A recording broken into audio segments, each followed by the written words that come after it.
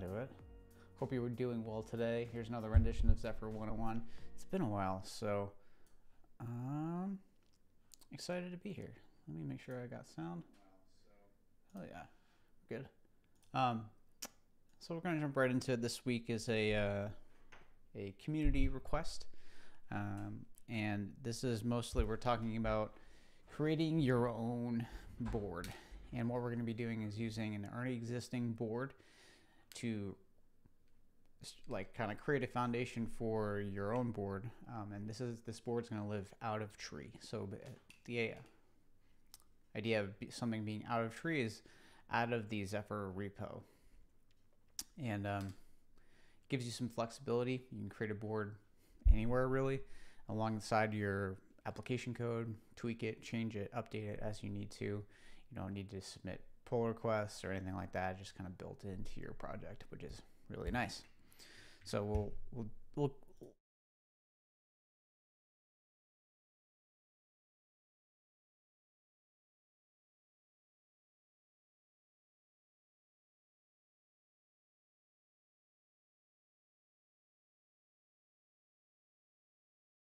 you won't get notified notified so make sure you do that uh, here is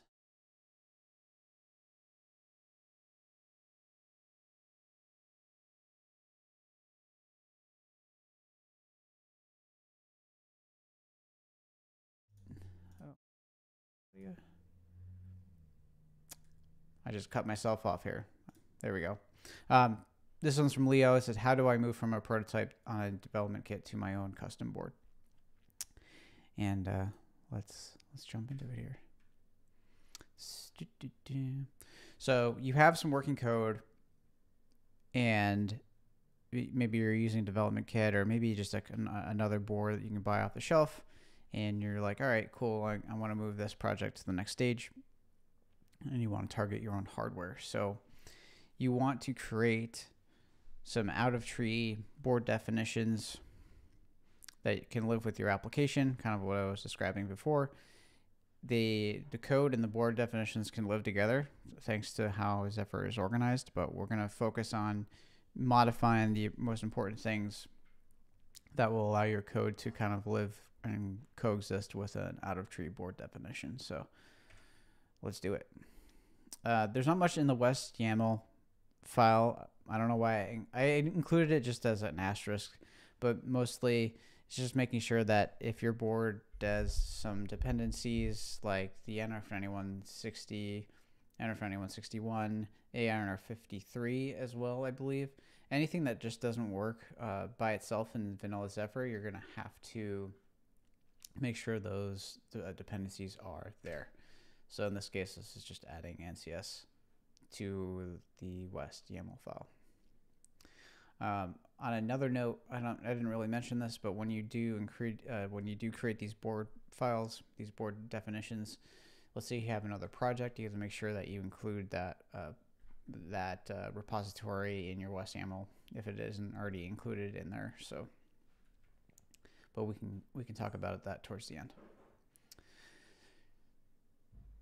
So the the secret of Zephyr is this module.yaml file, and it lives in the Zephyr folder in the root of your project directory. And this basically says, hey, I have board files here, I have drivers here, I have whatever you can think of. Uh, this is where you're saying, hey, Zephyr, look here to see if there are anything, there's anything that you need to build my project and um, it's located and like I said in that Zephyr module.yaml and this is located in the root of your project. So important thing to note is if you have code or application code that's currently in the root of your project, which is entirely possible, you definitely want to move that out. So I'll talk about that in a second. But literally, this is the entry to allow you to look for boards that's all it is. So you need just a folder called boards, uh, and we'll go into the, the, directory structure a little bit because it is important. But this is where you're putting your board definitions, like super super easy. Uh, this is what I was just talking about. Is make sure you have your application moved over into a separate folder. It really can be any name, whatever you want. Um, in my case, I just like using app but uh, like for instance, if I have projects that have multiple uh, multiple applications, so say you have an NRF52 which has the HCI firmware on it, and then you have an NRF9160 which has the rest of the application code on it. I like putting them in their own their own folders. Um, that's just the way I like organizing it. So Zephyr is very flexible. Um, not very opinionated on how you organize your code, so it's kind of like up to you and how you do it. So, but this is kind of how I would do it. That boards directory is the is where your uh, overlay is going to exist. I, I moved all the application code into that app folder. Um, the West YAML needs to stay in the root of the folder so Zephyr knows it's there. And then that Zephyr folder in includes that module.yaml. so what we're going to do here is use the already existing board definitions in Zephyr or in a different repository, whatever exists, whatever you're using. And we're going to basically copy it over and use that as the foundation for your custom board or maybe in another board that might not be developed or developed in Zephyr or available in Zephyr. So you're kind of building off something that already exists. I did it with the NRF 9160. I used it. Uh, I compared some notes with um, Nordic about how they they did their development kit. So I just kind of worked off of that. Um, but a de- development kit is definitely a good way to start. For example, here is the NRF52833 development kit. And this is currently in the Zephyr repository, the vanilla Zephyr repository. And these are all the files that are involved in the process. So they're all important. Uh, if you are using anything that has a the um, ARM secure capabilities, so uh, the NRF9160 has that, the NRF53. Uh, you'll have a bunch of other entries in here with the underscore NS at the end of it. So you'll actually have kind of duplicates, duplicate, duplicate configurations to some extent. Um, another thing for the NRF9160 is that the you have the ability to set like the partition table to some extent in in the overlay or your board definition. But uh, for the NRF9160, it actually gets kind of uh, dynamically created during comp compilation by some Python scripts in NRF SDK. So this is going into the weeds here, but these are just some things you just got to think about and um, know about before you start creating boards. In this case, for the NRF52, most of these kind of single core processors, uh, it's really simple just to kind of copy over and start using it. So you can copy over, so copy, you can copy that over that full path. So you want to make sure that you're including, if you look back here, you can see there's an there's a folder called ARM and boards, and then you actually have the folder of the name of the board that you're using. This is the development kit. Um, that ARM folder is pretty important. That just kind of categorizes the processor type by whatever it is. So um, if you if you go and explore in Zephyr's boards directory, you'll see like Xtensa and ARM and whatever else architectures that exist as supported by Zephyr. So um, you can copy over the full directory and move it over to your project and it'll end up in whatever board's architecture board name. So in this case, we're copying everything over to board's ARM NRF52833, blah, blah, blah. Um, and this is living in your project. And what we're going to do is kind of rename it in the next step to whatever you want to name it. Um, when I was looking through Zephyr, when I was creating my board for the first time, I was like, oh, how how is this other how are the formats doing and for other people? And some people just like name just the name of the board. Um, I did NRF 9160 or Circuit Dojo NRF 9160 Feather, uh, just in case there's any other NRF 9160 Feathers. So it's for you, and if, if it's living it outside of the main, main, you know, main Zephyr, if it's living out of tree, you can kind of name it whatever you want. Just make sure you do not name it the same as something else. So that'll be that's my warning to you. That's all it is. Uh, here's what it looks like when you're actually done. Like when I started renaming things. So just renaming it to make sure that they're all consistently named the same. So those are only the files that were named like the NRF52 DK blah blah blah. just renaming those. But in, inside all the files, we actually do have to make some modifications to make sure it works. So for instance, we're kind of like renaming the identifier here. Uh, we're kind of copy and pasting. If you look over there on the left, I'm doing kind of like a cop, a find and replace all within the folder within the files. There's some other things like under that um, that name in that YAML file. The YAML file is not as important. It's more, it, but um, changing everything over to match is uh, is handy. So for instance, in the kconfig.board, the original uh, that config file or config name or that config entry name, there we go, was called like board underscore nrf52833dk, blah, blah, blah. So we're just changing that over to match, um, changing the description of the Boolean to your board name, things like that. Uh, changing, you know, the comments and changing this. This was a conditional that was using the existing um, that config that was just here. So we just need to make sure it's renamed, um, changing the board name. Like for instance, uh, that board variable, so config underscore board is is a uh, is a macro that you can use within your code, especially if you want to log and show, uh, what whatever board is actually running at the time.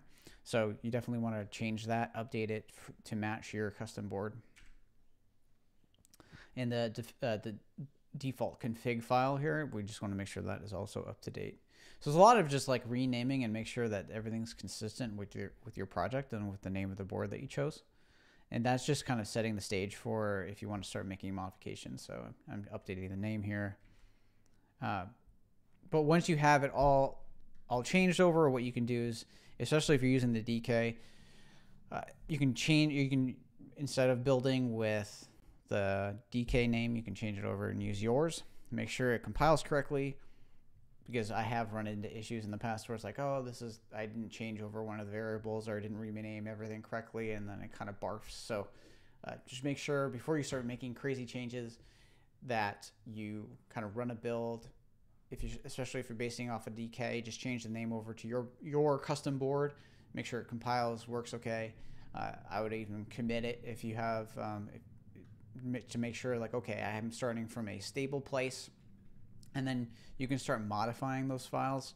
So I, have done plenty of episodes about making changes to um, overlays and uh, kconfig, so I'm not going to go into it too much depth here. But uh, one thing you just want to keep in mind is if you're working on a project or you're creating a board and the difference or the differentiation between an overlay and the, the actual board DTS files and the config files anything that's more permanent that will be kind of like it'll sustain over time that's just a feature of the board that's just going to be there forever. You just want to make sure that that is in your board definition. Anything you're doing to modify for that specific uh, that specific project you just want to do that in your overlay in your uh, your both both your overlays so that your dot overlay for your uh, your DTS and your .conf overlay, and those live in the application folder and under boards, and those kind of overwrite whatever already exists. So, uh, so we've uh, we've modified the application to accommodate out of tree drivers. So if you already had a repo, we can move the application code over and then create a place where we can put the board, the custom board definition we've updated and added a module.yaml to make sure that you that Zephyr knows where to look for a new board definition. Uh, we used the DK or existing board as a starting reference to kind of copied everything over, renamed it to whatever you want it to. I mean, you could also keep it the same if you really want. It's really up to you. It's very uh, flexible. Actually, you can't keep it the same name because it'll it'll it'll be bad bad news bears. But um, make sure you do rename it to something else. Uh, but it doesn't need to be anything specific. It doesn't have to follow a specific naming, uh, kind of naming the way you name things, but uh, you can kind of name it whatever you want. And then uh, modify to your liking, make permanent changes within the board definition. And then if you have any changes that are just app specific, you just do those in your overlays. So that was a mouthful. But that's it. So if um, if you haven't already, feel free to subscribe at jaredwolff.com. Should be there on the homepage. I send out emails whenever I do these live sessions, and I kind of just let everybody know what's going on. Um, I am uh, I am also building building out in the open to some extent. We are working on the next version uh, or the kind of next iteration of the NRF 9160 Feather. That will still exist at least for now, uh, for the foreseeable future, but uh, Nordic has some cool chips coming out, or the one's already out. So NRF 9161, which is kind of like the next generation, and then there's also the the next one after that. So I'm, I'm kind of excited about that. Um, but if you'd like to see kind of building out in the open, um, maybe I'll do some videos on it too. But let me know in the comments.